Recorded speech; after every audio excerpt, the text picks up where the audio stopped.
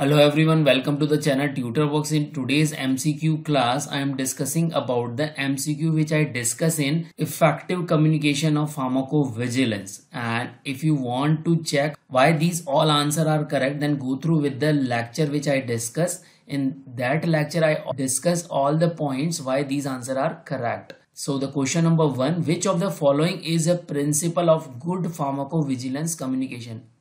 A. Relate the message to the audience perspective. B. Avoid comparison which trivialize the concern.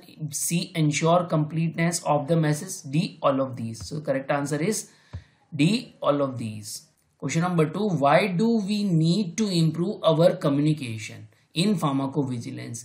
A. Improve patient care and understanding. B. Eradicate disease and improve disease control. C. Promote transparency and accountability. D. All of these. So the correct answer is all of these. Question number three. Why do communication matter in drug safety? A. For welfare of millions of people worldwide. B. To overcome extreme danger of failure. C. Both of these and D. None of these. So the correct answer is both of these. Question number four, what are various communication challenges in pharmacovigilance?